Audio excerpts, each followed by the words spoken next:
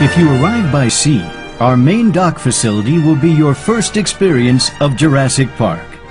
As you disembark from your luxury cruise liner, you will be met by our friendly and knowledgeable tour guides who will take you aboard VIP transportation to our visitor center, where your Jurassic adventure will begin. Consult your travel agent for affiliate ports and cruise lines.